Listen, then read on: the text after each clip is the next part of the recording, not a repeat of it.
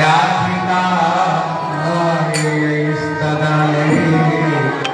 कृष्णाय कृष्णभक्ताय तद्भक्ताय नमो नमः वाञ्छाकल्पतरुभ्यश्च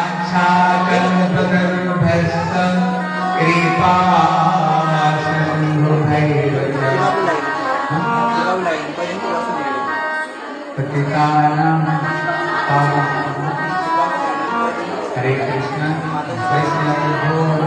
हरे कृष्णा कोई घर में हरे कृष्णा कोई घर में जाओ आज की जल जल की कथा को हम विश्राम कर देंगे कोई घर में मत जाना आधा घंटा में तो विश्राम कर देंगे ठीक है जल जल की कथा विश्राम करते हुए चले जाना। कथा को बीच में जाने से पाप लगता। है? हैं? नियम कथा को पूरी सुनोगे तब तो पूरी फल मिलेगा। अगर बीच में चले जाओगे तो आधा ही फल मिलेगा। और पहले भी चले जाओगे तो मिलेगा ही इसलिए सबके सब बैठ के कोई नहीं जाना। आधा घंटा में कथा विश्राम हो जाएगी। बोले, हे कृष्ण करुणा सिंधु दीनबंधो जगत्पते गोपेश गोपिकाकांत श्री राधा नमस्ते तप्त कंचन गौरांगी राधे वृंदावनेश्वरी वृषभान सुतदेवी प्रणमामि हरिप्रिये वृन्दाय तुलसीदत्ते प्रियामयि केशवस्य च। कृष्णभक्ति प्रददेवी सत्यवतये नमो नमः श्री कृष्ण चैतन्य प्रभु नित्यानंद श्री भक्त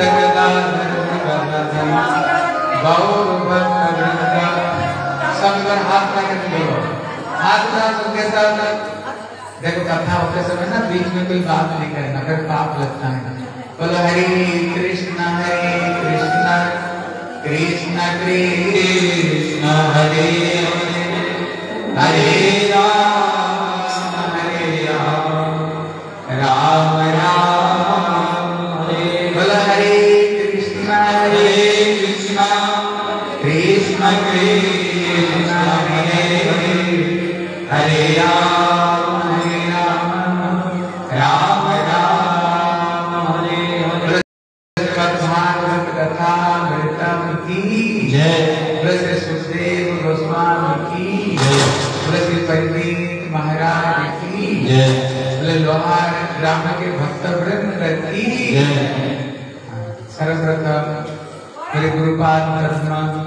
वितलीला प्रविष्णु विष्णुपाद अष्टोदर शतश्री श्री श्री माधव भक्ति श्री रूप, सिद्धांति गोस्वामी महाराज के चरण कमल अनंत कोटि साष्टांग दंडवत प्रणाम करता हूँ तत्पश्चात मेरे शिक्षा गुरुदेव नित्रिला प्रविष्णु विष्णुपाद अष्टोदर शतश्री श्री श्रीमान भक्ति वेदांत श्रील, नारायण गोस्वामी महाराज के चरण सरोज में श्रद्धा पुष्पांजलि अर्पण करता हूँ। उपस्थित समस्त वैष्णव, वैष्णवी, माता पिता, भाई बहन, सभी को मैं यथाविधि प्रणाम करता हूँ। हरे कृष्णा। देखो, आज हम लोगों का बहुत बढ़िया दिन है। क्योंकि कोई बात मत कर माता है इधर देखो। देखो, कोई बात मत कर कथा के बीच में बात नहीं करते हैं? घर में जाकर के पूरा दिन खोलकर बात कर लेना ठीक? यहाँ पर थोड़ी समय के लिए चुप हो जाओ। घूम कर बैठ के बात देखो, आज हम लोग का बहुत बढ़िया दिन है। श्री भोले बाबा मंदिर है और बैरागी बाबा है बैरागी सिद्ध बाबा की गरीब सिद्ध बाबा। हाँ बाबा जी के मंदिर में ये श्रीमद भागवत कथा होने जा रही है। इसलिए श्री सुखदेव गोस्वामी कहते हैं परीक्षित बोले जन्मांतरे भवेत पुण्यम। तथा भागवतम लभ्यम बल्कि ये श्रीमद भागवत कथा सुनने की कब सौभाग्य मिलता है? कहते एक जन्म में ही जब करोड़ों जन्मों की पुण्य उदय हो। कितने जन्मों की? ज़ोर से बोलो। जब करोड़ों जन्मों की कोई पुण्य उदय होता है तभी ये श्रीमद भागवत कथा को कोई सुन सकते हैं और ये कथा को कोई रख सकते हैं। इसलिए साधारण भाग्य से ये कथा कोई सुन नहीं सकता। है यदि भागवत कथा की इतने महिमा है, इतने महिमा है, अगर कहीं ये भागवत कथा हो, अब लोग तो लोग लोहारी राम कितना नज़दीक से आए हो। जब जब भागवत कथा हो स्वर्ग से ये देवता लोग भी कथा सुनने के लिए आते हैं। कहाँ से आते हैं? ज़ोर से बोलो। कहते स्वर्ग से देवता लोग भी ये भागवत कथा सुनने के लिए आते हैं। इसलिए श्री सुखदेव गोस्वामी जब परीक्षित महाराज को ये भागवत कथा सुनाने जा रहे थे तैतीस करोड़ देवता जिन जिनियों को घर में हम पूजा करते हैं।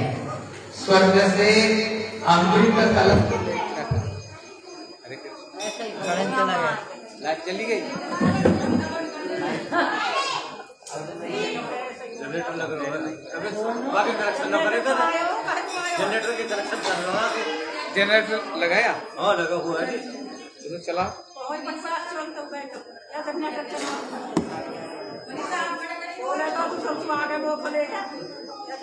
अबे कनेक्शन ना करे अभी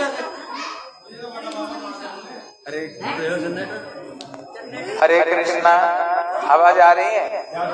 बोले से वृंदावन बिहारी लाल की। और और एक लगा दो तो माइक पे। बोले से वृंदावन बिहारी लाल की। आवाज़ आ रही है? पीछे तक आ रही है? इसमें ये लगा कर उसको ये लगा दो। हाँ। इसलिए कहते कथा सुनने के लिए देवता से, स्वर्ग से, ये देवता लोग भी कथा सुनने के लिए आते हैं। इसलिए जब श्री सुखदेव गोस्वामी इसको पूरा बंद करते हैं, जब श्री सुखदेव गोस्वामी ये श्रीमद भागवत कथा करने जा रहे थे, कहते स्वर्ग से देवता लोग अमृत कलश लेकर के आए। बोले, हे श्री सुखदेव गोस्वामी, आप परीक्षित को ये कथा क्यों सुनाने जा रहे हो? बोले, इनको ऋषि सिंह मुनि ने अभिशाप दिया है। सात दिन में इनको तक्षक दर्शन करेगा, सांप काटेगा। बोले, कोई चिंता मत करो। हम स्वर्ग से अमृत कलश लेकर के आए। लो, ये पूरी की पूरा ये अमृत कलश ले लो। और इसको परीक्षित महाराज को पिलाओगे, ये अमर बन जाएगा। लेकिन इसकी विनिमय में हमें ये श्रीमद भागवत कथा सुना दो। जब इतना बोले सुखदेव गोस्वामी को बड़ा क्रोध आया। बोले, मूर्ख देवताओं, तुम लोग केवल मतलब सिद्ध करना जानते हो। कहते, कहा भगवान की कथा, कहा भागवत कथा? बोले, ये भागवत कौन है? बोले, ये स्वयं बांके बिहारी है। बोले, भगवान कृष्ण जब ये जगत छोड़ करके चले गए, बोले, जीवों को कल्याण कैसे होगा?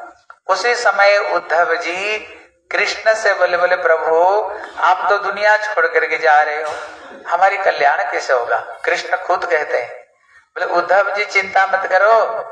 ये कलयुग में मैं अपना स्वरूप को ये श्रीमद भागवत ग्रंथ में रख करके जा रहा हूँ।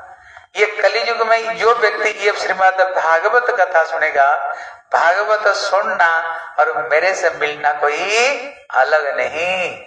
इसलिए जो कथा सुन रहे हैं, वो साक्षात श्री बांके बिहारी से मिल रहे हैं। इसलिए तुम लोग कथा नहीं सुन रहे हो। तुम लोग कथा नहीं सुन रहे हो, बांके बिहारी जी से मिल रहे हो। भगवान खुद बोले, और जो व्यक्ति ये कथा सुनेगा कहते हो, ज़रूर मेरे पास में ज़रूर आएगा।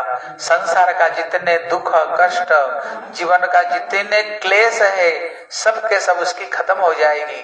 और जो ये श्रीमद भागवत कथा नियम से सुनेगा, अभी सुन रहे थे ना, जो ये भागवत से मांगोगे, जो कुछ मांगोगे, इसलिए पद्म पुराण में बताया, ऐसे कोई चीज़ नहीं जो भागवत में नहीं दे सकती है।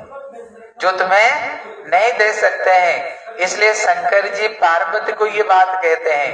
बोले, पार्वती, बोले सतसंगति दुर्लभ संसारा निमिष दंड भर एक कौबारा शंकर जी कहते पार्वती, ये जो श्रीमद भागवत कथाएँ पार्वती बड़ा दुर्लभ है। अगर थोड़ी समय, एक घड़ी, आधी घड़ी, आधी से पुण्य आद, तुलसी सतसंगत में नासे कोटि अपराध। अगर थोड़ी समय, अगर कोई ये भागवत कथा में बैठ जाए तो जीवन का सारे क्लेश को, जीवन में सारे दुख कष्ट को भागवत खत्म कर देता है। सारे दुख कष्ट को खत्म कर देता है। इसलिए पार्वती जगत में भागवत कथा बड़ा दुर्लभ। देखो, माता पार्वती कहती है, बोले, दुर्लभ कहा है? देखो, हम, आप लोगों ने सब मिल करके ये भागवत कथा रखवाया ना? घर घर में निमंत्रण दिए होंगे, कथा हो रही है। ए, बात मत कर उधर। ए, छोरे। कथा मत इसलिए कहते घर घर में निमंत्रण दिए होंगे, है ना? सब कथा सुनने के लिए आओ, कथा होएगी कथा होएगी। तब शंकर जी जब पार्वती को ये बात बोले, पार्वती बोली, प्रभु, दुर्लभ का मैं देखा गाँव गाँव में आप लोगों ने पापलेट छपाया देखा गाँव में लगा हुआ भागवत कथा होगी, आओ आओ। बोले, दुर्लभ का तो सुलभ हो गया। दुर्लभ कहाँ कह रहे हो? देखो शंकर जी क्या कहते हैं। बोले आबत ये सर अति कठिनाई।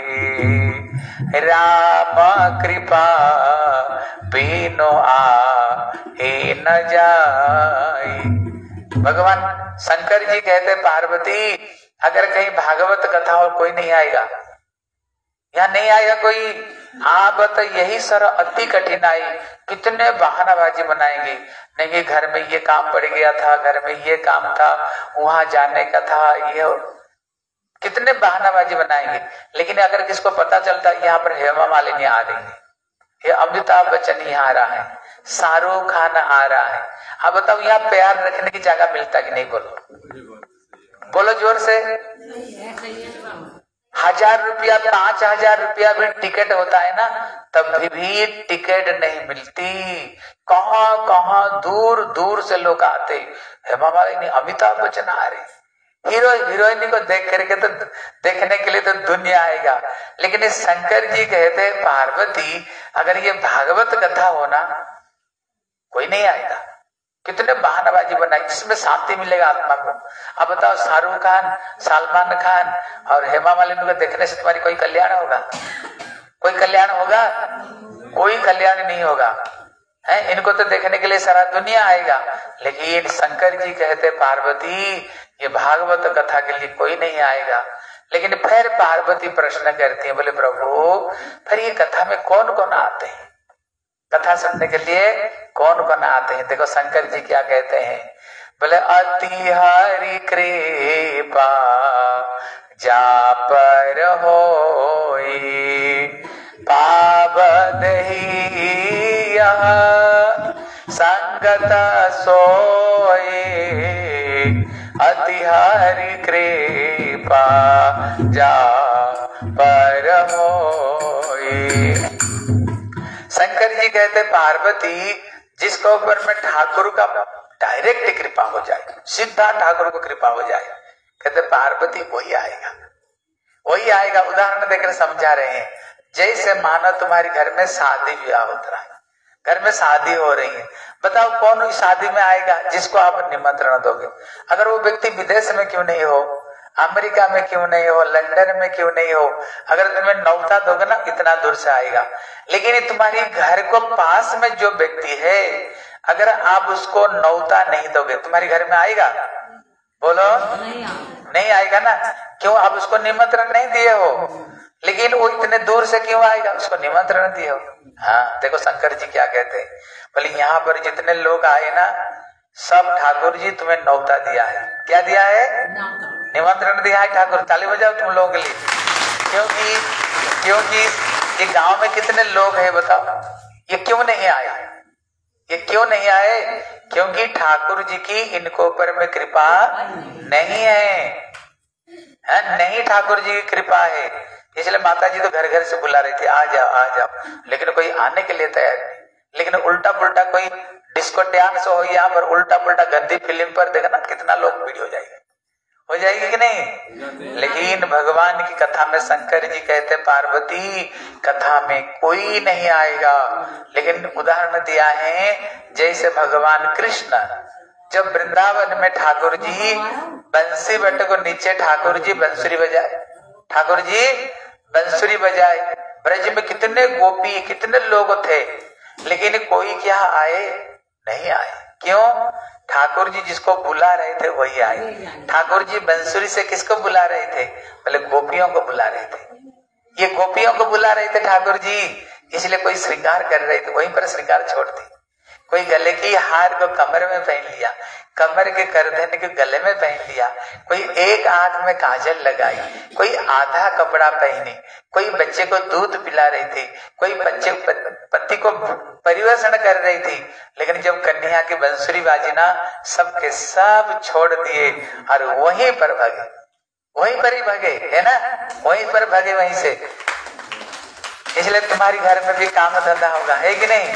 सबके घर में काम है, काम सभी के घर में है। लेकिन होते हुए भी, लेकिन भगवान के लिए समय कौन निकालता है? जब गोपियों ने सब छोड़ करके कन्या कृष्ण को पास में आए देखो ठाकुर जी क्या कहते हैं? बोले स्वागत में महाभागा।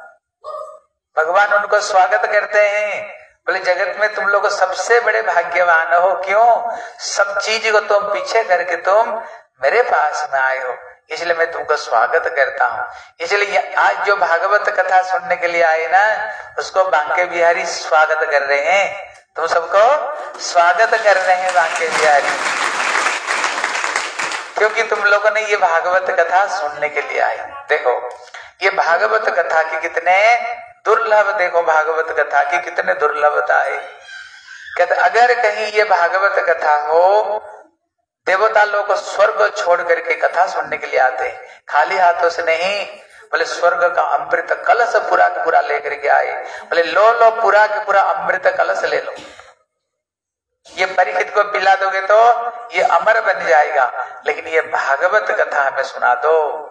लेकिन सुखदेव गोस्वामी उदाहरण क्या दे रहे हैं? देखो, बोले, को काच, को मणिर महान। उदाहरण दिया, जैसे कोई एक कांच के टुकड़े लाओ किसको पास में कोई मणि हो? पारस पत्थर नाम सुने पारस पत्थर का, जो लोहे को भी सोना बना देती है। कोई अगर कांच के टुकड़े लाए बोले, इसको ले ले, तेरे पास में जो पारस मणि दे दो, आप दे दोगे? बोलो, दोगे कि नहीं? नहीं दोगे ना? क्योंकि पारस मणि है, वो लोहे को भी सोना बनाने वाली।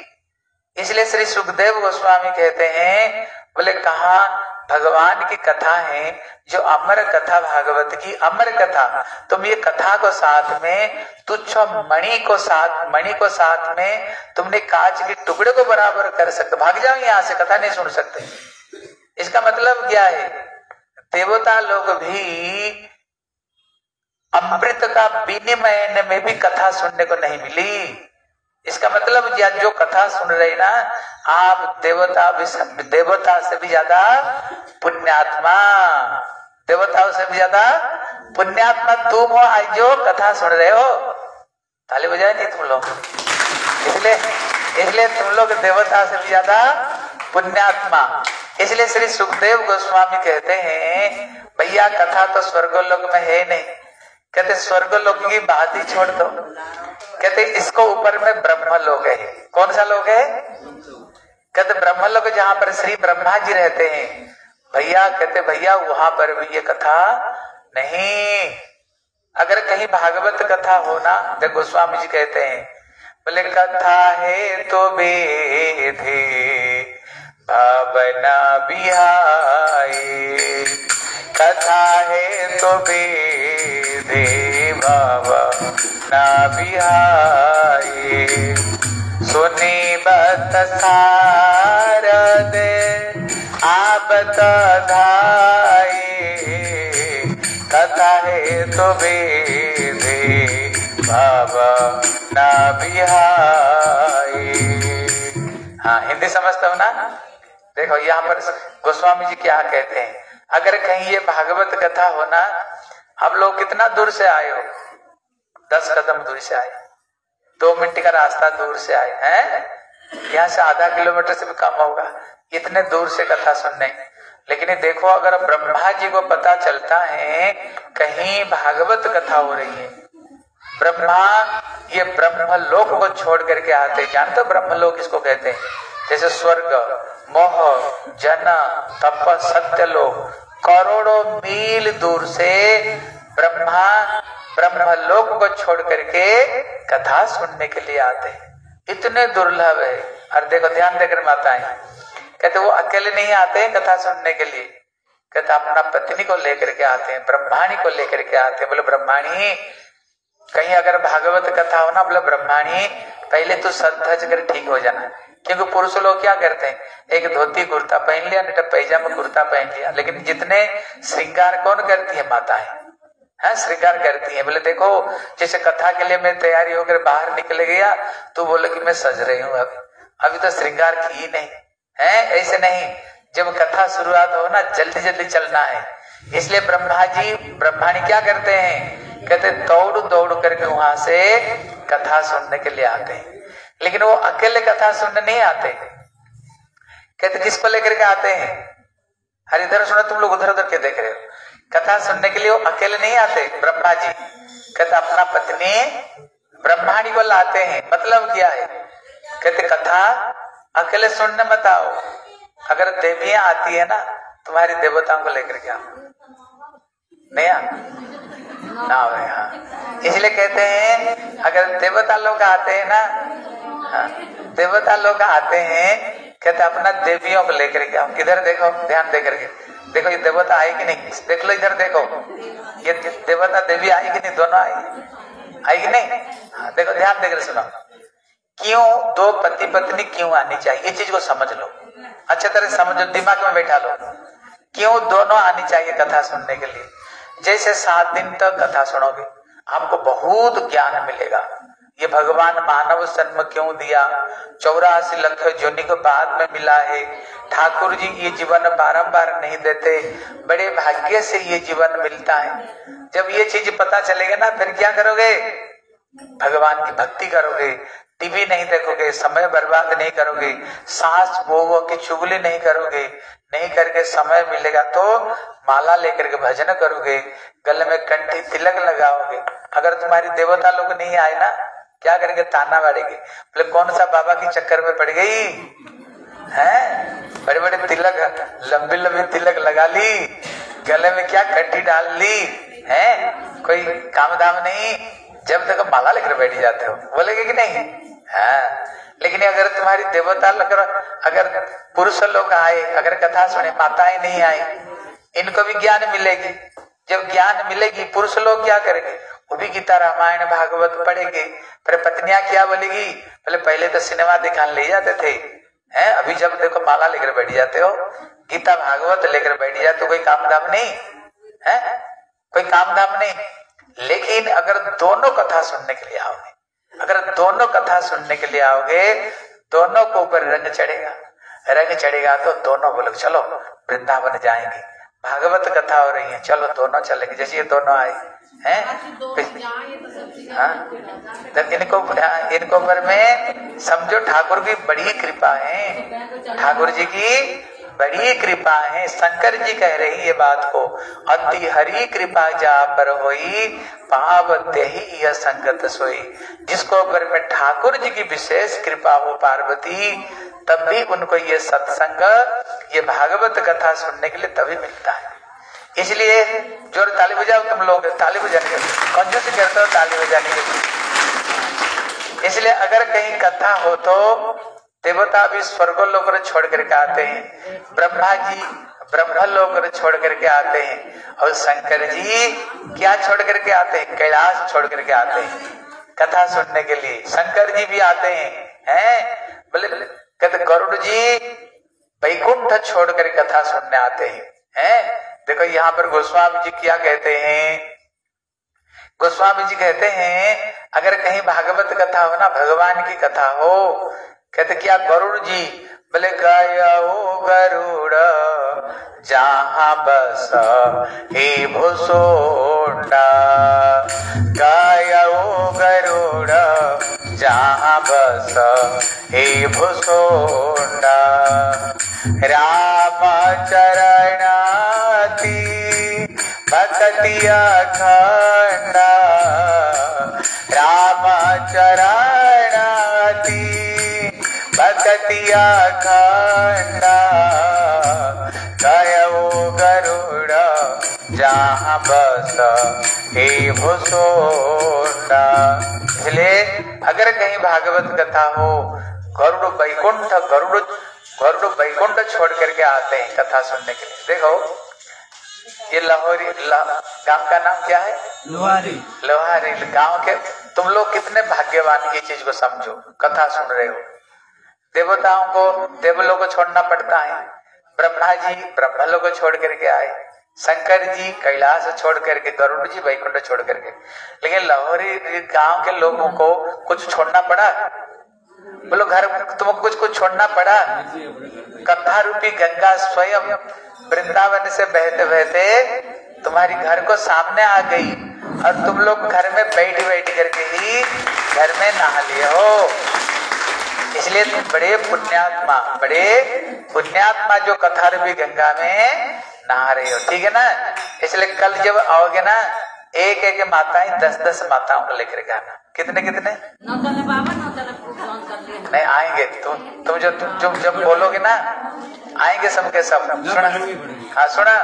हमारे बड़े गुरु जी कहा करते थे आप जिनको ये कथा में लाओगे जो पुण्य तुम्हें उसको मिलेगा ना, जो लाने वालों को आधा पुण्य मिल जाएगी। हमारे गुरु जी कहते थे, अगर किसी को गलत मार्ग दिखाओ उसको पाप भोगना पड़ेगा। लेकिन अगर किसको सही मार्ग दिखाओगे, पुण्य भी तुम्हें तुम्हें पुण्य मिलेगा। क्योंकि भगवान की कथा में, भागवत कथा में लेकर के आए हो। इसलिए यहाँ पर भागवत में गोपियाँ कहती हैं, ये गोपियाँ कहती हैं, जो कथा सुनेगा ना उसको सात लाभ होगा। कितना लाभ होगा? ज़ोर से बोलो। हाँ। आज मैं बोलूँगा, कल अब से सुनूँगा। जो बोलेगा ना, उसको इनाम दूँगा मैं। ध्यान देकर सुनो। आप बोलोगे ना दो दो घंटा, तीन घंटा क्यों बैठेंगे? अगर इसी समय को हम घर में लगाते, घर में काम करते, कुछ तो लाभ होता। लेकिन यहाँ पर दो दो ढाई ढाई तीन तीन घंटा क्यों बैठेंगे?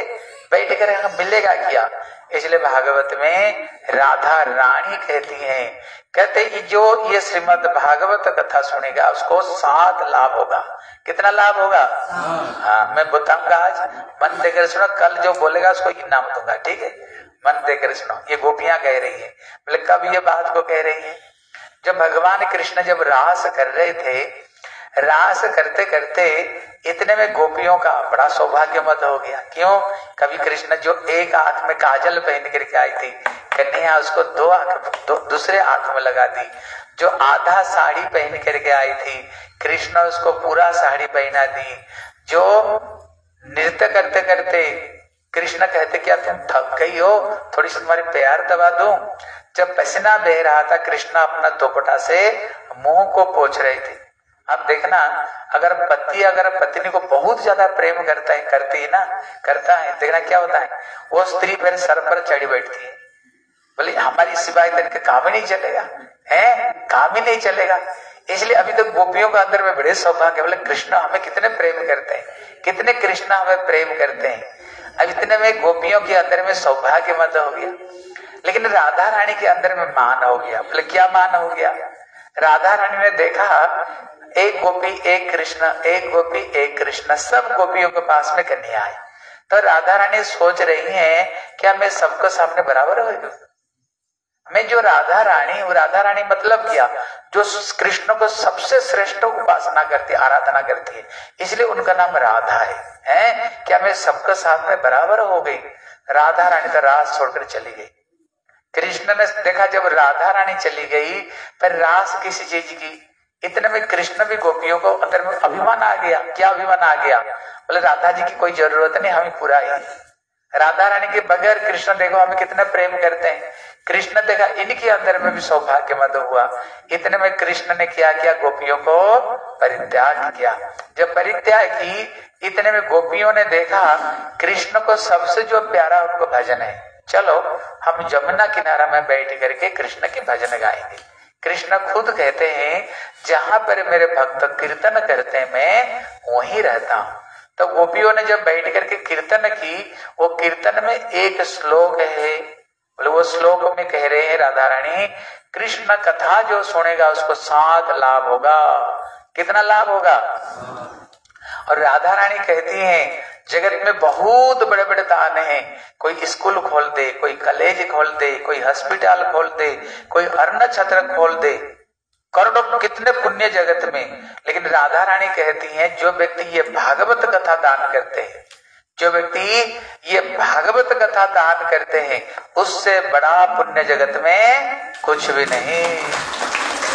सबसे बड़ा पुण्य है ये भागवत। इसलिए श्री व्यास देव स्वयं सारे ग्रंथों को रचना की, लेकिन मन को शांति नहीं मिली। लेकिन मन को शांति कब मिली? जब उन्होंने श्रीमद भागवत ग्रंथ लिखे। शिक्षा क्या देते हैं? शिक्षा क्या देते हैं? मेरे तरफ़ में देखो। शिक्षा क्या देते हैं? शिक्षा ये देते हैं, जब व्यास देव को शांति नहीं मिली। जब व्यास देव को शांति नहीं मिली, फिर हमें कैसे शांति मिलेगा? फिर हमें कब शांति मिलेगी? जब हम भगवान की भागवत कथा सुनेंगे। जब ये भागवत कर, जब उन्होंने रचना की ना तभी उनको शांति मिली। आप स्वयं देखोगे जब सात दिन कथा सुनोगे ना इतने शांति तुमको मिलेगी। इतने शांति तुमको मिलेगी जो सोच नहीं सकती हो। इतने प्रसन्न हो जाओगे तुम्हारी दिल खुश हो जाएगी कथा सुन करके।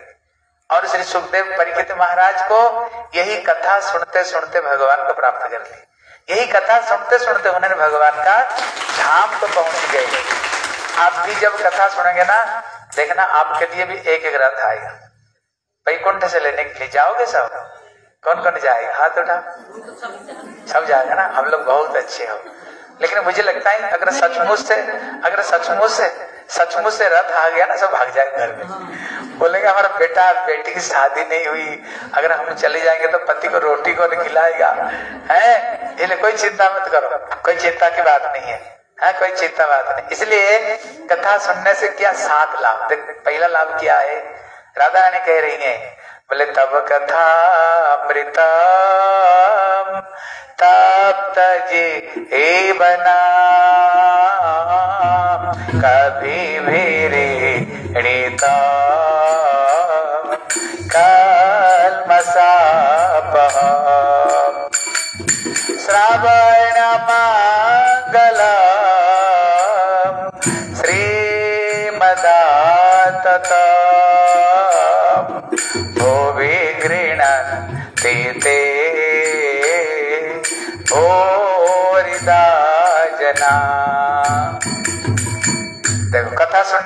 पहला लाभ है, ध्यान देकर सुनो।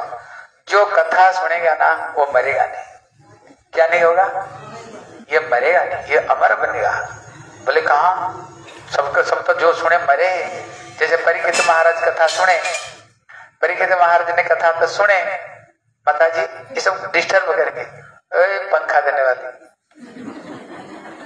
बैठ जाओ। तुम बीच में कथा में डिस्टर्ब कर रहे हो। बैठ जाओ। हवा खाओगे ना कथा सुनाओगे। हाँ फटाफट दे दो फटाफट जल्दी दे दो। फटाफट ले लो सबके सब फटाफट पंखा ले लो। हाँ मेरे को तो भाई कर नहीं रही तू खुद खुद पंखा करते जा रही बोलो वृंदावन बिहारी लाल की आज के आनंद की बोले, गोविंद, जय जय, गोपाल, जय जय, गोविंद, जय जय, गोपाल। जय जय, राधा रमण, हरि गोविंद, जय जय, राधा रमण, हरि गोविंद, जय। बोल, गोविंद, जय जय, गोपाल, जय जय, गोविंद, जय।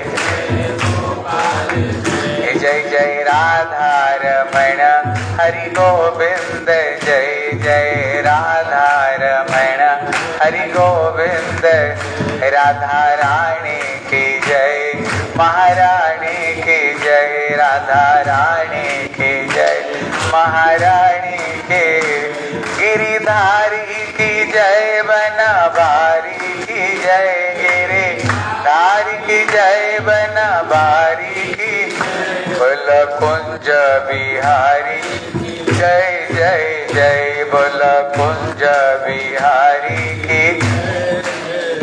राधा रानी की जय महारानी की जय राधा रानी की जय। महा बोला श्रीमद भागवत कथा वृंदाम की। हाँ, देखो कथा सुनने का पहला लाभ है जो कथा सुनेगा ना, वो मरेगा नहीं। क्या क्या नहीं करेगा? मरेगा नहीं, वो अमर बन कर आएँगे। बोले परीक्षित महाराज सुनकर तो चले गए। बोले, देखो, चले तो गए, लेकिन भागवत में इनके नाम है कि नहीं? मीरा तो गई, लेकिन जगत में पूजा हो रही कि नहीं? हनुमान तो गए, लेकिन घर घर में हनुमान की पूजा हो रही कि नहीं? हो रही ना? हाँ। इसलिए कहते जो कथा सुनेगा वो मरेगा नहीं अमर बन जाएगा। इसलिए भागवत का एक नाम बताया अमर कथा। क्या कथा है? कहते क्योंकि शंकर जी माता पार्वती को ये कथा अमरनाथ में सुनाए थे। कोई गए हो अमरनाथ? कोई नहीं सबको हम ले जाएँगे। बताओ कौन कौन जाना चाहते हो? सबके बाद ले जाएँगे सबको। सब अमरनाथ में ले जाएँगे। ठीक है? इसलिए कहते भैया, कथा शंकर जी, पार्वती को क्यों सुनाया? इस कथा को सुन लो। बोले, एक समय श्री शंकर जी गए थे सत्संग में। एक दिन उनके घर में श्री नारद जी आए। जब आए, भैया, पार्वती चरण धोए, पूजा की। इतने में नारद जी माता पार्वती को पूछे, बोले माता जी सब ठीक ठाक हो? बोले, बेटा, तुम्हारी आशीर्वाद सब कुशल मंगल। बोले, कैसे कुशल मंगल है? बोले, शंकर जी मेरे को बड़ा प्रेम करते हैं। कौन स्त्री सुहागिनी जिसको पति प्रेम करता है? है? पति जिसको प्रेम करते इसलिए शंकर जी मेरे को बड़े प्रेम करते हैं। लेकिन नारद जी को ये भागवत ग्रंथ प्रकाश करने का था। है? भागवत ग्रंथ को प्रकाश करेंगे। कभी कभी हम कहते हैं ना तो क्या नारद जी का काम करते हो? मतलब क्या? लड़ाई लगवाते हो? बोलते हैं ना? बोलते कि नहीं? हाँ कि ना बोलो? बोलते हैं। इसलिए नारद जी का जगत में बड़ा बदनाम है। लेकिन ऐसे बात नहीं, नारद भगवान की परम भक्त है। इतने में नारद जी बोले, देखो माता पार्वती, आप कहते हो, शंकर जी तुम्हें बड़े प्रेम करते हैं। बोले हाँ। बोले, आपको पता है, शंकर जी के अंदर अंदर में और किस स्त्री को प्रेम कर रहे उसके दूसरे भी प्यार कर उसको भी दूसरे पत्नी है उसके। अंदर अंदर में शंकर जी और भी किसको प्रेम करते हैं? पता है तुम्हें? देखो माताएँ, स्त्रियाँ हर चीज़ को सहन कर लेके घर में, जितने दुख कष्ट हो। लेकिन अगर पत्नी को पता चले उसका पति और किसी लड़की को प्रेम कर रहे सहन कर सकते शंकर जी बोले, नारद बाबा, थोड़ा रुक जाओ। कहा इतना जल्दी भाग रहे हो? बोले, आज मेरे पास में समय नहीं, कुछ ज़रूरी काम है। शंकर जी समझ गए, ऐसे नहीं, कोई लड़ाई तो लगा कर गए नहीं। सचमुच से जब घर में आए ना देखा, पार्वती उनको स्वागत के लिए कोई है नहीं। बोले, पार्वती तो मान भवन में लेटे हुई। शंकर जी जब ऐसे हाथ रखे ना, पार्वती हाथ फेंक दी। बोले, मैं तो सोच रहे थे, आप भोले बाबा हो, लेकिन आज मेरे को पता चला तुम तो कपटी बाबा हो। बोले, कैसे? बोले, एक बात तुम बताओ, तुम्हारी गले में ये मुंडे की माला किसकी? सही सही बताओ। तीन बार कसम खिलाए, सही बोलना। तो तीन बार कसम शंकर जी का है। बोले, ये गले में मुंडे की माला किसकी है? मैंने सुना वो अंदर अंदर में और भी किसको प्रेम कर रहे हो? शंकर जी बोले, पार्वती हाँ मैं और किसको प्रेम करता हूँ, लेकिन तेरे को। बोले, कैसे? बोले जो गले में मुंड की माला है तुम्हारी। बोले, मेरी कैसे? मेरे सर तो मेरे शरीर में आपकी गले में कैसे आ गया? हम आगे कथा सुनेंगे। कहते, शंकर जी को दक्ष प्रजापति, जो सती की, जो पिताजी अपमान किया है। इसलिए माता सती ने हरिद्वार का कनखल में उनने शरीर को त्याग दी आगे सब कथा आई। बोले, एक बार नहीं, तुमने कितने बार तुमने ये शरीर को त्याग दी हो। और तुम बड़ी मेरी प्यारी हो। जब जब तुम शरीर छोड़ती हो, तब तक मैं तुम्हारी सर को गले में मुंड में माला रूप में धारण कर लेता हूँ। पार्वती बोली, प्रभु, मैं तो सोच रही थी आप कोई छोटे मोटे कपटी हो गए मेरे को पता चला आप तो बहुत बड़े कपटी निकले। बोले, कैसे? बोले, ये बताओ, ऐसे कौन सा अमर बोटी को आपने पान किया जो अमर हो गए? मैं मरती जा रही बोले, पार्वती, जब से मैंने ये श्रीमद भागवत कथा रूपी अमर कथा को सुना, तब से मैंने अमर हो गया।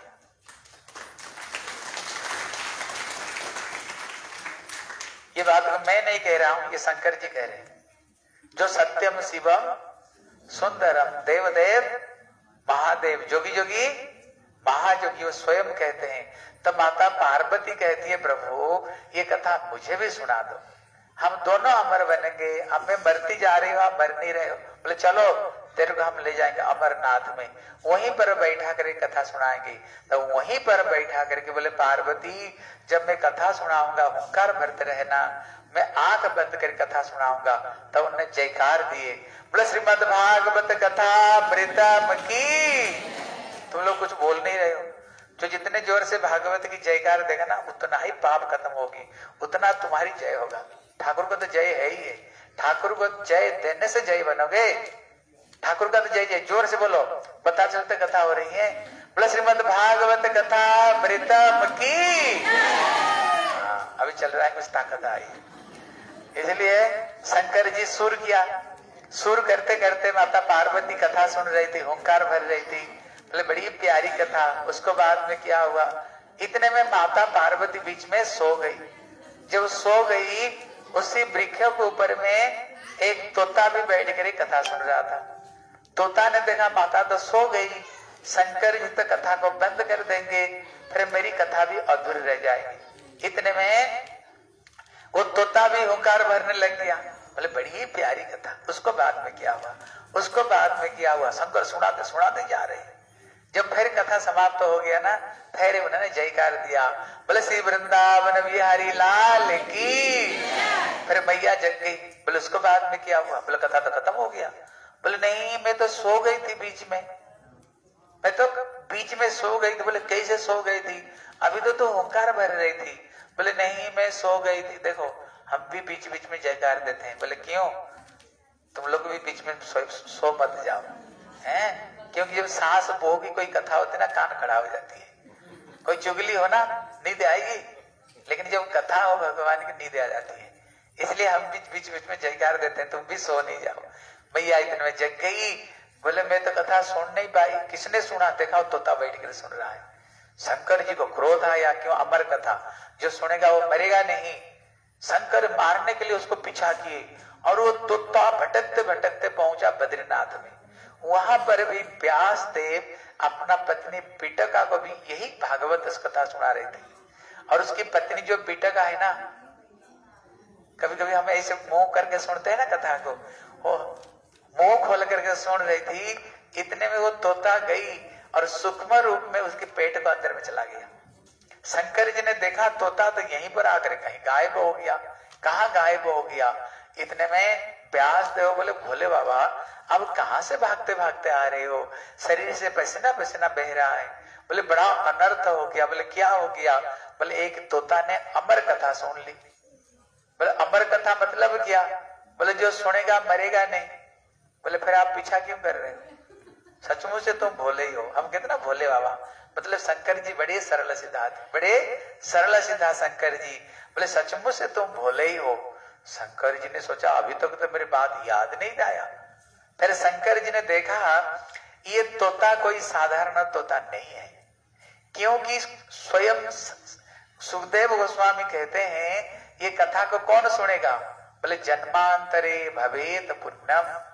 जिनको करोड़ों करोड़ों जन्मों का कोई पुण्य उदय होगा ना, वही कथा सुन सकता है। सबने कथा नहीं सुन सकते। करोड़ों करोड़ों जन्म की जिसकी पुण्य उदय होगा, वही कथा सुन सकते हैं। बोले, ये तोता ने इसे कौन सा पुण्य की जो कथा में बैठा है? तब उन्होंने ध्यान लगाया। जब शंकर जी ध्यान लगाए ना, सब कुछ उसने देखा है। देव कथा को सुन लो। ये तोता कौन है? कहती, जब भगवान कृष्ण चंद्र जब गोलोक वृंदावन से ये मरते जगत में आए वो तोते को उन्होंने वहीं से लाए थे। राधा कृष्ण की निकुंज में ये तोता रहने वाले, जिसको राधा रानी हाथ में बैठा करके अनार की दाना खिलाया करती थी, कृष्ण नाम पढ़ाया करती थी, और कृष्ण के समस्त लीलाओं को दर्शन किया। कभी कभी राधा रानी इनको चुंबन भी करती थी कभी कभी इसलिए राधा जी की अधरा मृत भी इनकी थोट में लगा हुआ है। जब राधा कृष्ण जाने के लिए तैयारी हुए, ये तोता भी जाने के लिए तैयारी हुआ भगवान कृष्ण ने कहा, तोता, अगर तू चले जाओगे ना, भविष्य में मेरी भक्ति को भागवत कथा कौन प्रचार करेगा? इसलिए तुम रुको। इसलिए उसी तोते को जगत में छोड़ करके गए थे। वो बड़ा दुखी होकर के भटक रहा था। क्यों? ठाकुर जी चले गए। भटकते भटकते जब उन्होंने पहुँचे, अमरनाथ में देखा, शंकर जी माता पार्वती को ये भागवत कथा सुना रहे। और उसी नहीं, ये भागवत कथा को सुने और सुन करके वही श्री सुखदेव गोस्वामी बन करके आएँगे और जगत में भागवत प्रचार करके शंकर जी सब कुछ देख लिया। शंकर जी ने देखा, मेरा कथा सुनाना सार्थकता हो गया। क्यों? मैंने जो कथा सुनाई, ये सुखदेव गोस्वामी ही जगत में आ करके जगत में ये भागवत कथा प्रचार करेंगे। शंकर जी प्रणाम किया। बोले, कथा सुनाना मेरी सार्थकता हो गया। बोले, श्री वृंदावन बिहारी लाल की। हाँ देखो, ध्यान देकर सुना। ये कथा की क्या महिमा, देखो। शंकर जी स्वयं कहते हैं, ये कथा को सुन करके मैं अमर बना। और माता पार्वती भी कथा सुन करके अमर बनी। माता जी वो माता जी को बोले, इधर मुँह करके बैठे। ए, पीछे, इधर घूम करके बैठो। इधर इधर घूम करके बैठो। उधर मुँह मत कर मेरे तरफ़ में देखो। हाँ इसलिए भागवत कथा सुनने का जो पहला लाभ है क्या लाभ है? जो कथा सुनेगा ना वो अमर बन जाएगा। क्या बन जाएगा? अमर बन जाएगा। है? और दूसरा लाभ क्या है? हाँ, सबके सब गिनना सब कथा को। दूसरा लाभ है कभी जो कथा सुनेगा उसका जीवन का सब दुख खत्म हो जाएगा। संसार में हम किसी ना किसी तरह से दुखी है। कोई तन दुखी, कोई मन दुखी, कोई धन बिना रहत उदास संसार में देखना सब कुछ ना किसी तरह से दुखी है। कोई सास से दुखी, कोई बहू से दुखी, कोई बेटा से दुखी, कोई पड़ोसी से दुखी, कोई पैसा से दुखी, कोई काम से दुखी, कोई अब दुखी ना दुखी संसार है कि नहीं दुखी दुखी? लेकिन यहाँ सुखदेव गोस्वामी कहते हैं, जो ये कथा सुनेगा ना, संसार का सब दुख तुम्हारी खत्म हो जाएगी। सारे दुख तुम्हारी खत्म हो जाएगी। इसका प्रमाण देखो, ध्यान देकर सुनो। जैसे यहाँ पर बैठे हो आप देखना एक घंटा बैठो, नहीं तो आधा घंटा, दो घंटा बैठो। संसार में हम दुखी दुखी है, लेकिन यहाँ पर जितने समय तुम बैठोगे ना, आप बताओ तुम्हारी घर की कोई दुख तुम्हें याद है अभी? संसार का कोई कष्ट तुम्हें याद है क्या? लेकिन जब तुम केवल ये गेट से बाहर निकलो, कथा से बाहर निकलो, गेट से बाहर निकलते ही सारे दुख कष्ट तुम्हारे सर के ऊपर में पहाड़ जैसे बैठेगा। क्यों? जब तक कथा में बैठे तब तक आनंद में बैठे हो। क्या सोचो, घर में जाने पर बहू को साथ में बनती नहीं। सास को साथ में बनती नहीं। लड़ाई बेटे को साथ में बेटा बात नहीं सुनता। है, अभी तक बच्चा का शादी नहीं हुई, बेटी भी घर में बैठी हुई। है कि नहीं?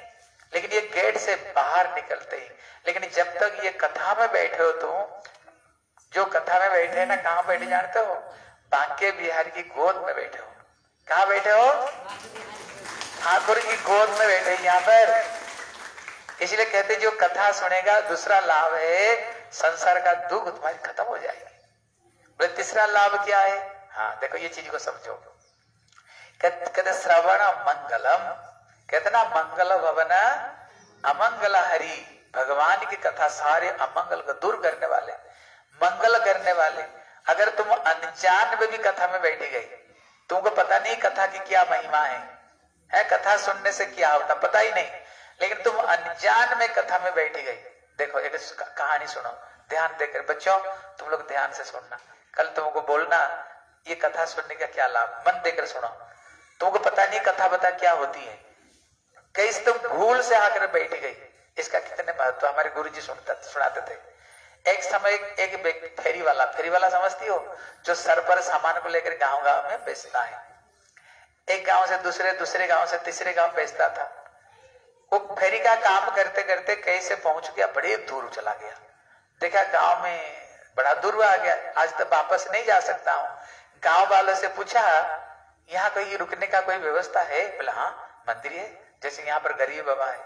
मंदिर है, बाबा की सीधा बाबा की। बोले, मंदिर में जाकर रुको। लेकिन पहले क्या होता था? गाँव के लोग इकट्ठे होते थे, ढोल की मजरा लेकर कीर्तन करते थे करते थे नहीं गाँव के लोग? पहले तो ये टीवी स्मार्टफ़ोन ये तो कुछ नहीं होता था। लोग बैठ कर रामायण सुनते थे, भागवत, यही तो होता था ना गाँव गाँव में। लेकिन उसने, वो व्यक्ति जब सोने के लिए जा रहा था, दिन भर काम करते करते, परेशानी, वो गाँव का नियम था, सबके सब इकट्ठे होकर के ढोल की मजरा लेकर के बोले, गोविंद, जय जय, गोपाल, जय जय, गोविंद। बोलो ज़ोर से। बोलो, गोविंद, जय जय, गोपाल, जय जय, गोविंद। ज़ोर से, पीछे पीछे बोलो। बोलो, गोविंद, जय जय, गोपाल, जय जय, गोविंद। ज़ोर ज़ोर बोला। जय जय राधा रमण, हरि गोविंद, जय जय राधा रमण, हरि। राधा रानी की जय, महारानी की जय, राधा रानी सब ताली बजाते हुए बोलो। राधा रानी की जय, महारानी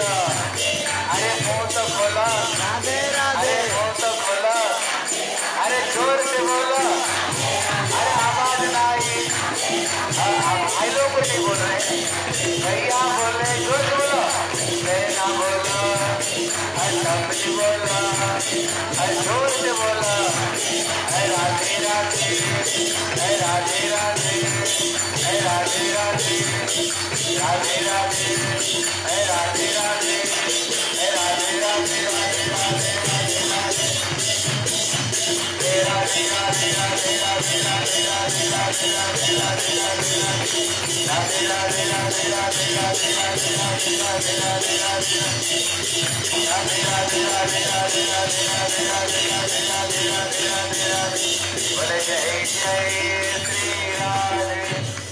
वृंदावन बिहारी लाल की, आज के आनंद की, अभी गाँव के लोग बैठ करके बजरा ढोलक में कीर्तन करने लगे।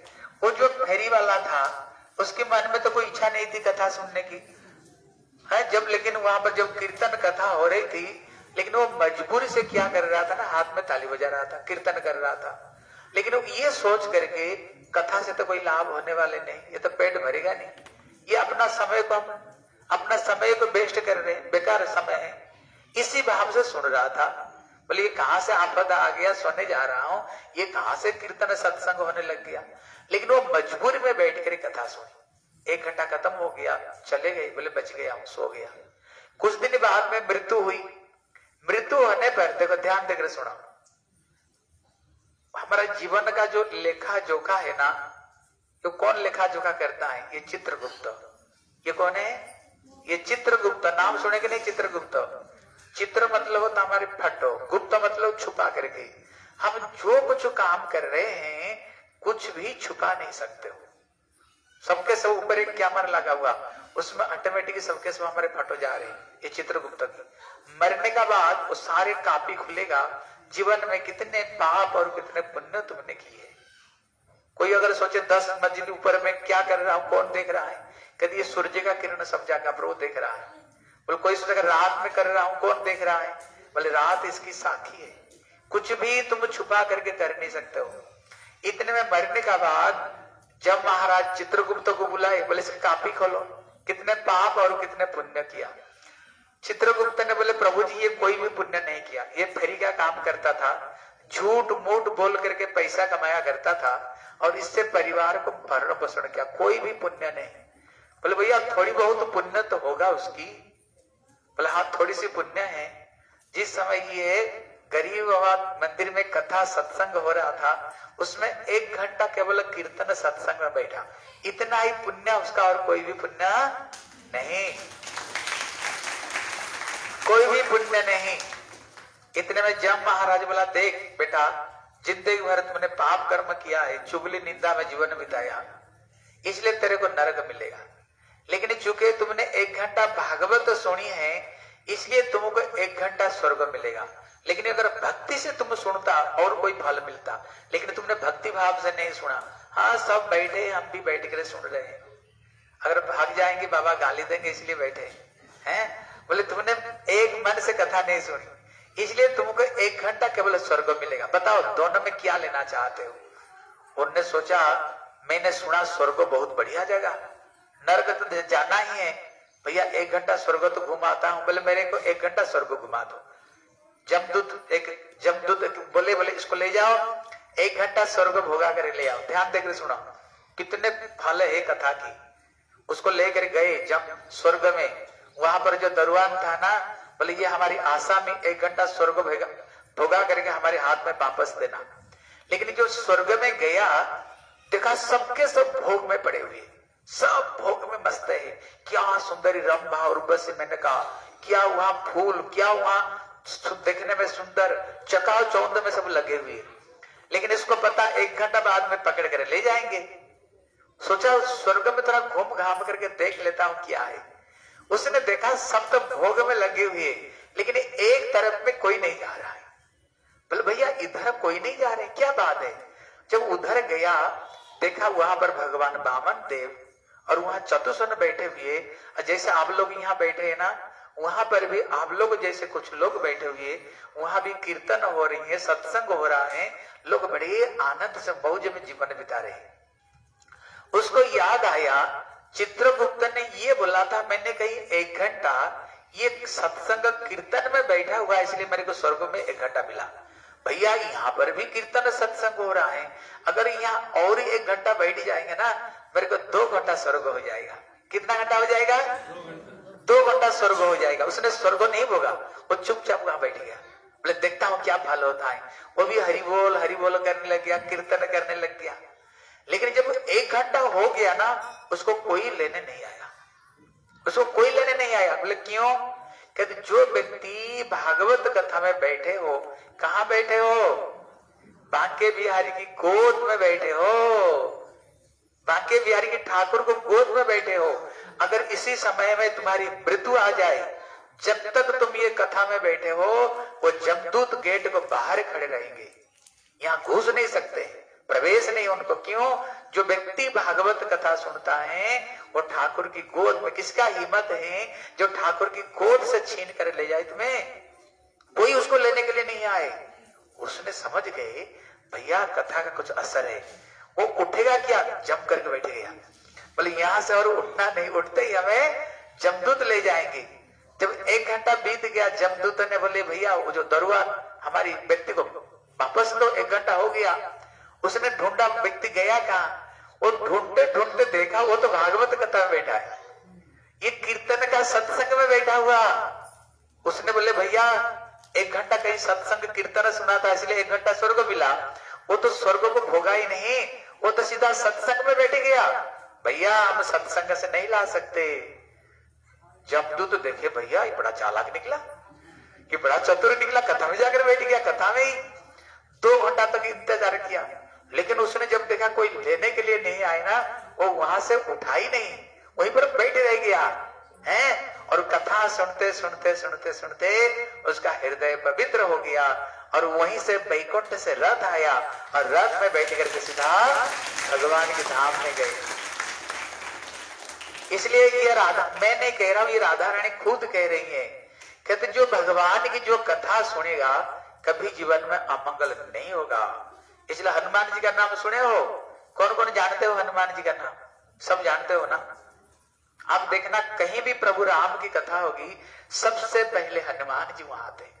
सबसे पहले, सबसे पीछे हाथ जोड़कर बैठेंगे, गदगद होकर कथा सुनेंगे।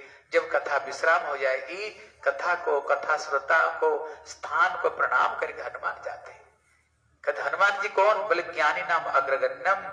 ज्ञानियों में सर्वश्रेष्ठ श्री हनुमान जी। इतने बड़े ज्ञानी होकर के, अगर करोड़ों जगह में प्रभु राम की कथा होगा ना, हनुमान जी करोड़ रूप धारण करते हैं।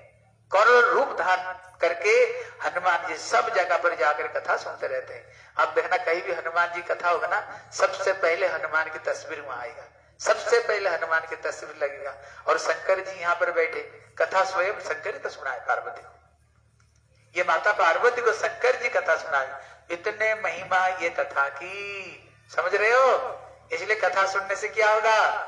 मंगल होगा, अमंगल नहीं होगा। और स्त्री स्त्री मतलब होता है घर में लक्ष्मी भी आएगी लक्ष्मी कहाँ रहती है? नारायण के पास में रहती है। लक्ष्मी नारायण के पास में रहती जो कथा सुनेगा, जैसे ये भागवत कथा हो रही है, जो थोड़ी बहुत कुछ ना कुछ दान देगा ना, सुदामा जैसे दो मटी चिड़वा दिया, ठाकुर जी त्रिभुवन राज्य दिया ठाकुर जी। त्रिभुवन का राज्य उसको दिया। इसलिए कहते भागवत कथा में किसी ना किसी तरह से थोड़ी बहुत जो मदद करेंगे, बोले श्री मतलब लक्ष्मी सौंदर्य, शोभा, जस बढ़ेगा उसका, है? और दा मतलब क्या है? जो कथा सुनेगा, उसकी संसार का सारे बंधन भी खत्म हो जाएगी। सारे बंधन उसकी खत्म हो जाएगी। इसलिए यहाँ पर राधा रानी कहती हैं भूरीदा जना। ये भागवत कथा को जो दान देते हैं, इससे बड़ा दान दुनिया में कुछ भी नहीं। सबसे बड़ा दान ये भागवत दान। इसलिए कहीं अगर भागवत कथा होगी कहीं अगर ये भागवत कथा होती है ना हम आगे सुनेंगे, स्वर्ग से देवता लोग भी पुष्पों की बौछार करते हैं। बोले, भागवत कथा हो रही है, पुष्प की बौछार करते हैं स्वर्ग से।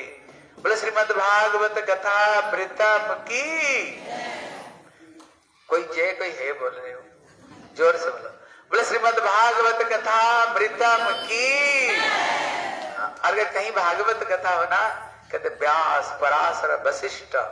ये जितने बड़े बड़े ऋषि मुनि भी कथा सुनने के लिए आते हैं, गंगा जमुना सरस्वती, अयोध्या, मथुरा, माया, सबके सब सी कथा में सुनने के लिए आते हैं। कहते, सुखदेव गोस्वामी कहते, जो कथा सुनते हैं, पृथ्वी के जितने सारे तीर्थ है, यहाँ बैठ ही बैठ करके सारे तीर्थ में नहाना हो गया। सारा तीर्थ में तुम्हारी नहाना हो जाती, जो कथा कथा जो सुन ले। सारे तीर्थ में जाओगे, कितने करोड़ रुपया लगेगा? तब भी नहीं स्नान कर सकते हो। लेकिन कथा रूपी गंगा में नहा लिया तो सारे तीर्थ तुम्हारी नहाना हो गया। बैठ बैठ कर नहा लिया सारे तीर्थ ठीक है ना? इसलिए हाँ अब अब से प्रश्न करता हूँ।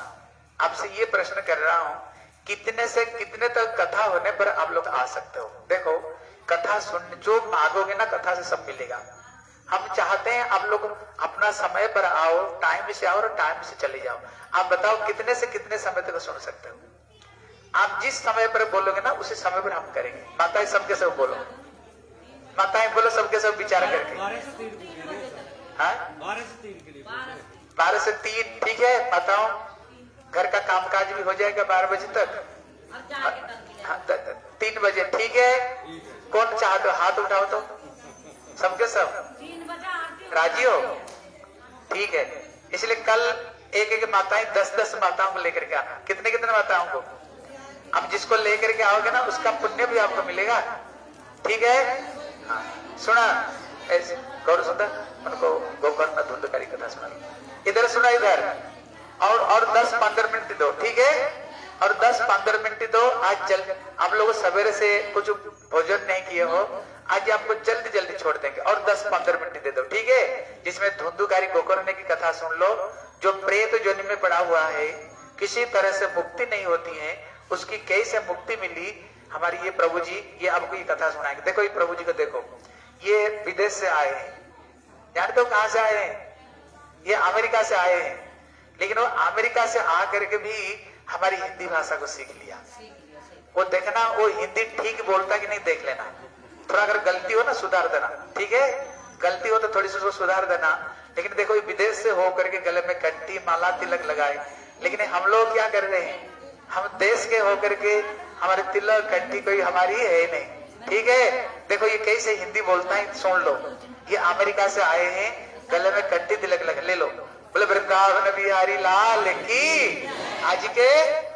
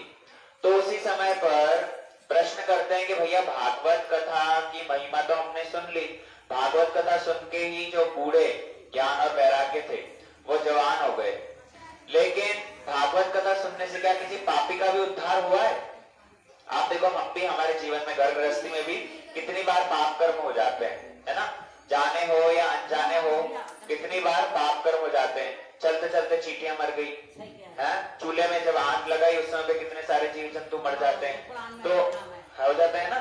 तो पाप करते करते ऐसे पापी व्यक्तियों का भी क्या उद्धार होता है?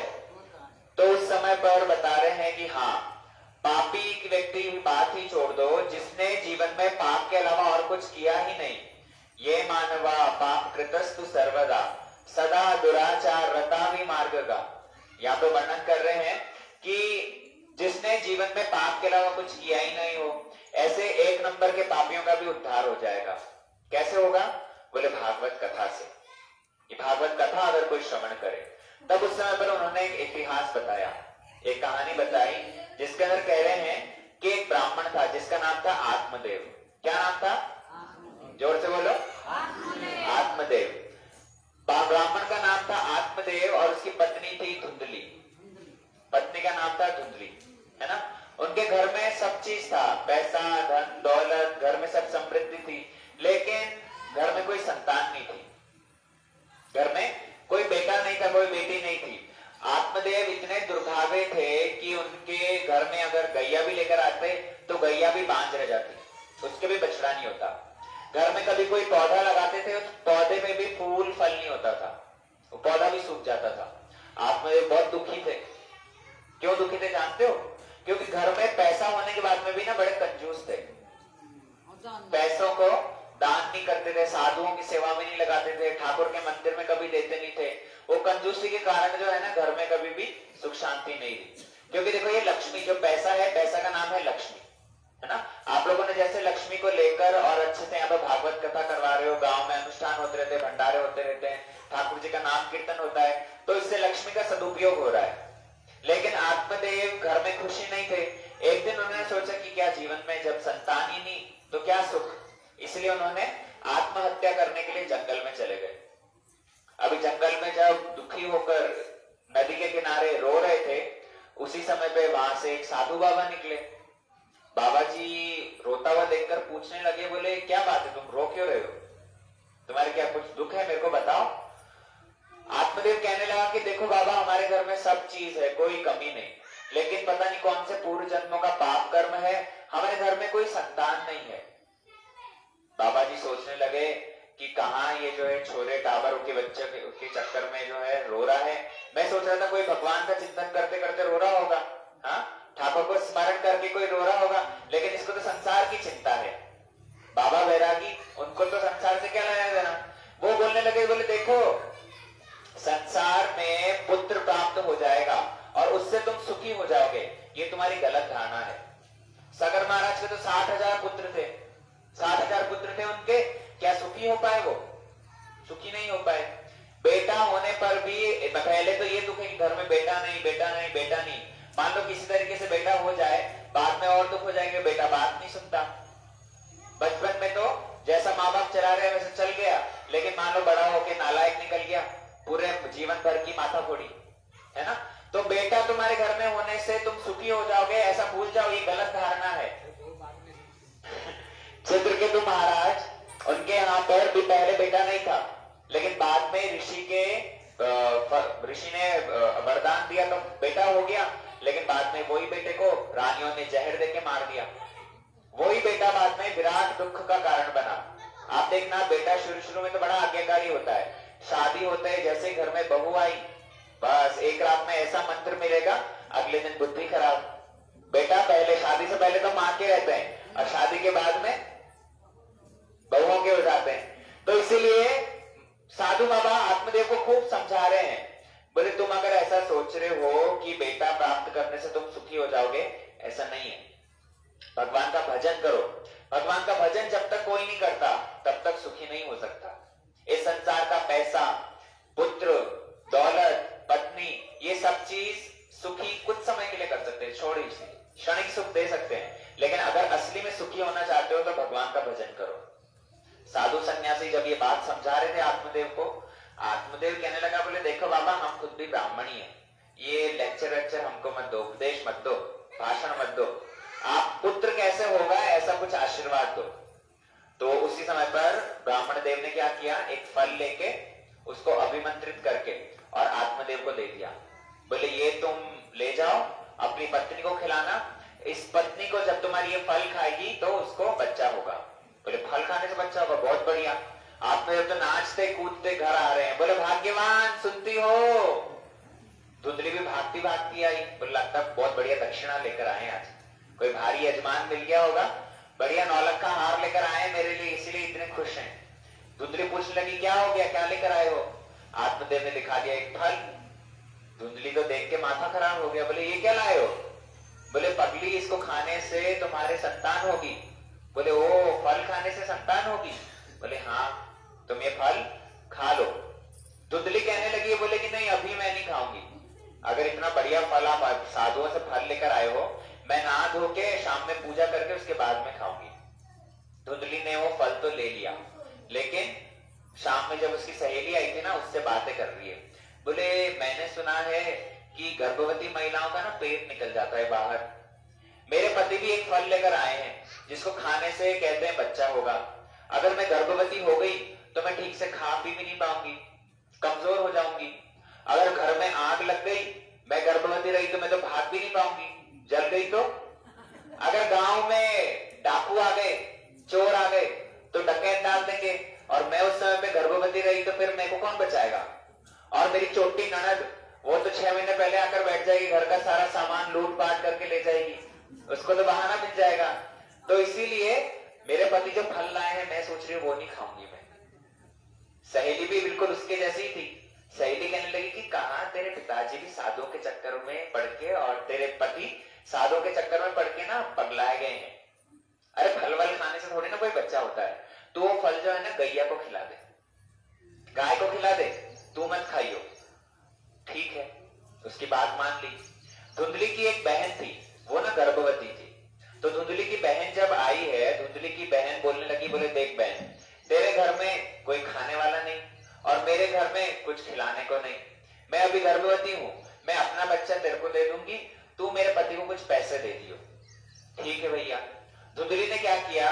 वो फल तो खिला दिया गैया को और खुद पेट पे कपड़ा बाँध के नाटक करने लग गई कि मैं गर्भवती हूँ। अभी जब समय उपस्थित हुआ, उसकी बहन का जो बच्चा था, उसको लेकर अपने घर में आ गई। और आत्मदेव को जैसे पता चला कि मेरे घर में संतान जन्म हुई है, वो तो नाचने लग गया। नाचने लगे इतने आनंद में, पूरे गाँव में उसने तो लड्डू बटवाए, पटाखे बटवाए। बोले, भैया, मेरे घर में भी संतान हो गई। इतने साल से बच्चा नहीं था, लेकिन अब ठाकुर जी ने दे दी, संतान प्रदान करी। और तो और जो फल गैया को खिलाया था वो गैया के गर्भ से भी मनुष्य पशु का जन्म, मनुष्य शिशु का जन्म हुआ। मतलब आत्मदेव के घर में तो एक संतान ऑलरेडी है ही। गैया ने भी बछड़े का जन्म नहीं दिया, मनुष्य के बच्चे को जन्म दिया। दो हो गए वहाँ के। हाँ गाँव वाले कहने लगे, बोले, ठाकुर जी, देते तो देते नहीं, और देते तो देते तो छप्पर फाड़ के। कहा आत्मदेव के घर में एक भी बच्चा नहीं था, और अब हुए तो दो दो हो गए। दो दो हो गए।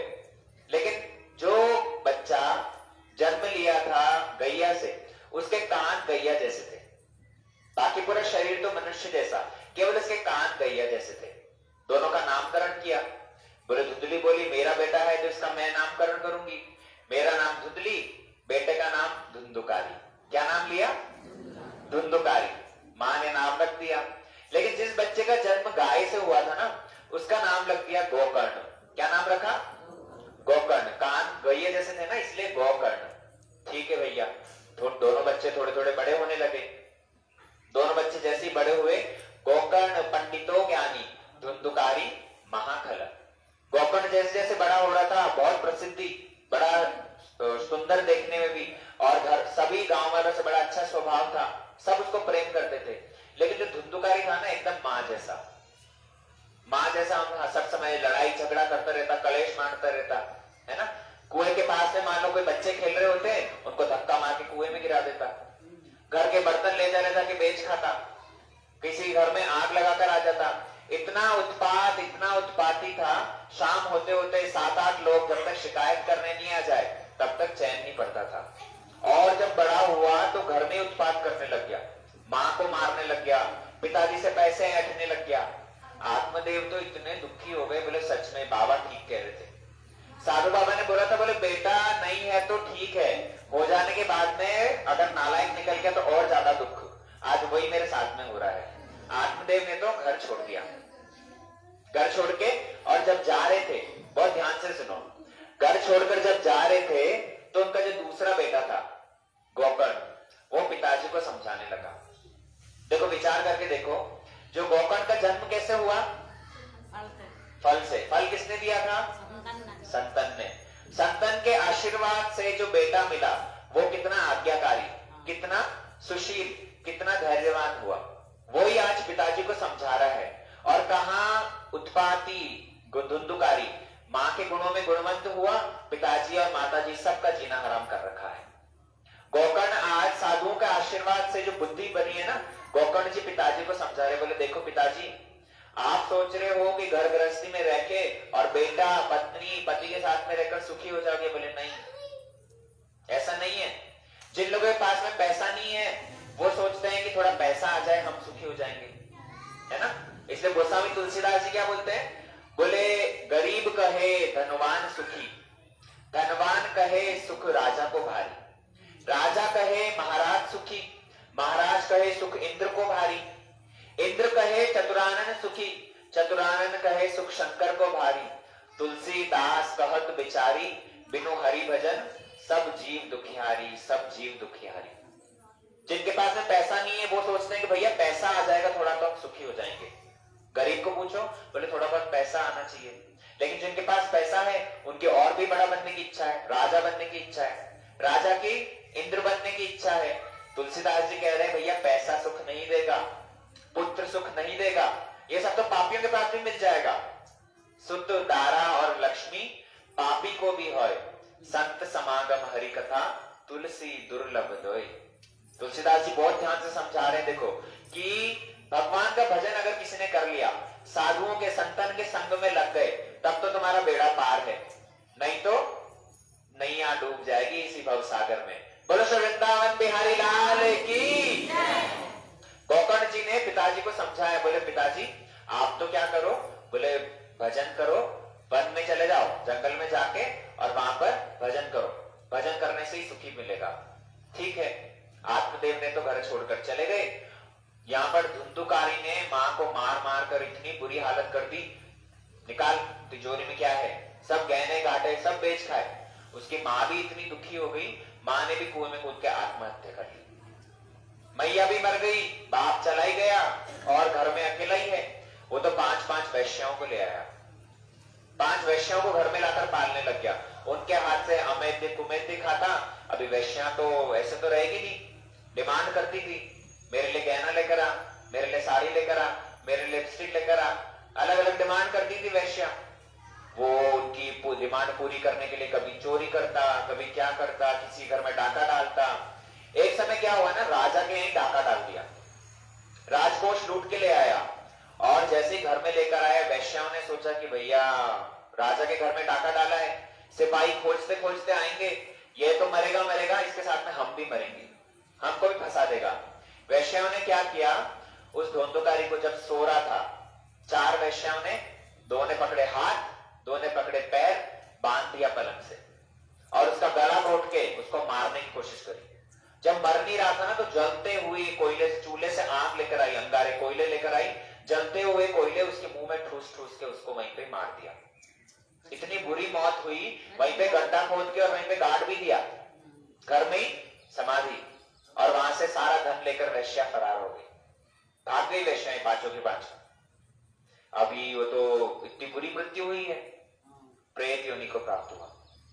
ऐसी बुरी मृत्यु हुई, शांति थोड़ी मिलेगी। प्रेत योनि को प्राप्त हो, भूत बन गया, भटक रहा है वहीं पे। गोकर्ण जी ने जब ये बात को सुना तो उसने ना गया में जाके श्राद्ध किया। गया गए हो आप लोग? बोध गया। गया वहाँ पर ठाकुर जी के चरण चिन्ह है। वहाँ पर जाकर अगर कोई पिंडदान करे, पिंडदान करते हैं ना? पिंडदान करे, श्राद्ध करे, अपने पूर्वजों के लिए तर्पण करे तो उनका उद्धार हो जाता है। गोकर्ण जी को जब पता चला तो उसने धुंधुकारी के लिए दान किया, पिंडदान किया। और जब वापस घर में आए ना, तब जाकर ये धुंधुकारी था, ये तो भूत बना हुआ था। इसने क्या किया? कभी भैंसे का रूप ले रहा, कभी हाथी का रूप ले रहा। अलग अलग तरीके से गोकर्ण जी को डरा रहा है। लेकिन वो तो पंडित थे। उन्होंने क्या किया? अभिमंत्रित जल लेकर जैसे ही छिटका, उसी समय पर बोलने लग गया, बोले, मैं आपका वही भाई हूँ। मैं आपका वही भाई, धुंधुकारी हूँ। बोले, तेरे नाम पे तो मैंने पिंडदान दिया था। तेरा उद्धार नहीं हुआ। बोले, मैं इतना पापी हूँ, एक बार क्या मेरा के लिए कोई सौ बार भी पिंडदान दे दे, तब भी मेरा उद्धार नहीं होगा। तब भी उद्धार नहीं होगा। तो बोले, क्या करें?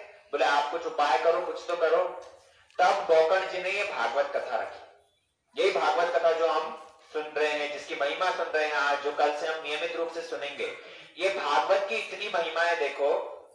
गोकर्ण जी ने सारे गाँव वालों को बुला लिया। बोले, आ जाओ आ जाओ। भागवत कथा प्रारंभ होगी। बोलो श्री भागवत कथा अमृतम की। जयकार देते हुए वहाँ पर भागवत कथा आरंभ करी। और ये धुंधुकारी तो प्रेत योनि में था। तो उसने क्या किया? एक बाँस के अंदर आकर रहने लग गया। सात गांठे थी उस बाँस में। एक दिन कथा हुई एक गांठ चटक गई। दूसरे दिन कथा हुई दूसरी गांठ चटक गई। ऐसे सात दिन कथा हुई सात गांठ वाली वो बाँस वो पूरी चटक गई। और गोकर्ण जी की कथा सुनकर धुंधुकारी को साक्षात वैकुंठ लोक से उसके लिए रथ आ गया। इतना सुंदर उसने चतुर्भुज रूप धारण किया। शंख, चक्र, गदा, पद्म पीताम्बर पहन रखा है। गले में माला, सुंदर मुकुट धारण कर रखा है। भूत योनि से उद्धार हो गया और पार्षद रूप धारण किया। वैकुंठ से उसके लिए विमान आ गया। गोकर्ण जी जैसे ही धुंधुकारी बैठ रहा था रथ के अंदर, गोकर्ण जी बोलने लगे, बोले, रुको रुको रुको। बोले, यहाँ तो सारे गाँव वालों ने कथा सुनी। सारे गाँव वालों ने कथा सुनी और आप लोग रथ लेकर आए हो, एक ही, ऐसा क्यों? सबके लिए रथ आना चाहिए ना। जितने श्रोता है उन सबके लिए रथ आना चाहिए था। सिर्फ़ धुंधुकारी के लिए रथ क्यों लेकर आए? तो उस समय पर विष्णुदूत बोलते हैं, बहुत ध्यान देकर सुनो। विष्णुदूत क्या बोलते हैं? बोले, कथा सबने नहीं सुनी। कथा सबने नहीं सुनी। बोले, यहाँ बैठे तो हैं, इतने सारे बैठे हैं, सब कथा नहीं सुन रहे? बोले, नहीं। यहाँ पर शरीर से बैठे हैं। मन तो कहीं और है। मन लग रहा है घर के अंदर। मन विचार कर रहा है कि अभी घर जाकर ये काम करना है। घर जाकर क्या करना है? उसको उद्धार चाहिए था, इसलिए उसने एक मन से कथा सुनी। लेकिन बाकी जो सारे गाँव वालों हैं, उन्होंने एक मन से कथा नहीं सुनी। इसलिए मैं, हम लोग एक ही रथ लेकर आए। गोकर्ण तो बड़े दुखी हो गए। बोले, क्या बोल रहे हैं ये? गाँव वालों ने ठीक से कथा ही नहीं सुनी।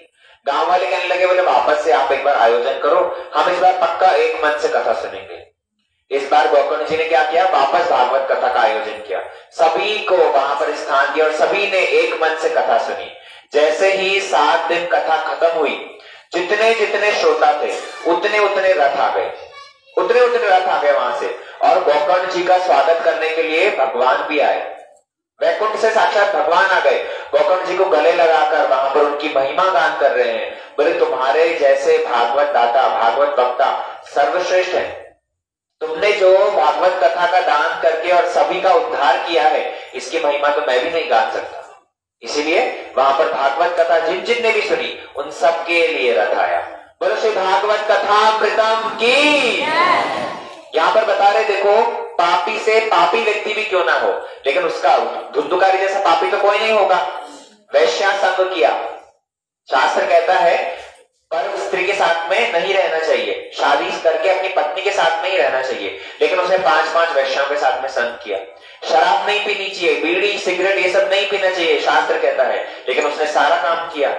चोरी, डकैती, ये सब पाप कर्म है, नहीं करना चाहिए। उसने किया, दूसरों को दुख नहीं देना चाहिए। किसी के घर में आग लगाता था किसी को कुएँ में धक्का दे देता था। सारे पाप काम किए सारे। लेकिन ऐसे पापियों को उद्धार कैसे हुआ? बोलो भाई कैसे हुआ? भागवत से। इसीलिए यहाँ बता रहे हैं पापी से पापी व्यक्ति क्यों ना हो? अगर उद्धार चाहिए तो भागवत कथा सुनो। भागवत कथा मन देकर सुनो ऐसे नहीं पल्लू झाड़ कथा। यहाँ बैठे तब तक हाँ गर्दन हिलाते हिलाते सुन ली जाते ये पल्ला झाड़ा और चले गए। नहीं मन देकर सुनो और उसी का फिर बाद में चिंतन करो। क्या सुन के आए थे? बाबा ने आज क्या कथा सुनाई थी? ये बात बहुत बढ़िया बोली। ये बात जीवन में अपनानी चाहिए। ऐसे करके मन देकर अगर कथा सुनोगे तो सात दिन बाद में आप सबके लिए भी रथ आएगा। सबके लिए भी रथ आएगा। वृंदावन बिहारी लाल की। हाँ ठीक है। आज आप लोगों को जल्दी खत्म कर रहे हैं। अब लोग सवेरे से भूखे हो है ना? हाँ सब भूखे हो।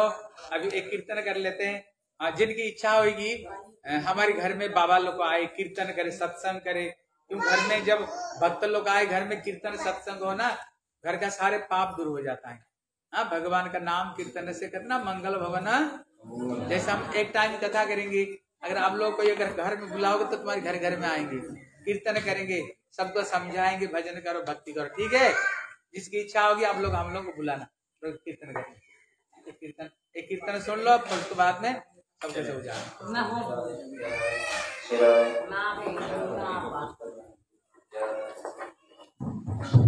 मेरी करुणा मई सरकार अगर खड़े हो जा सब के सब खड़े हाथ से कृपा कृपा करो लाली श्री राधे